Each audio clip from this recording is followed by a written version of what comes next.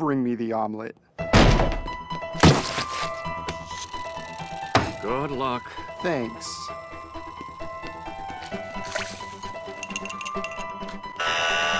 No, don't. Let him finish. Step aside. Why don't you make us, bro? Alright? Keep him away from Mordecai!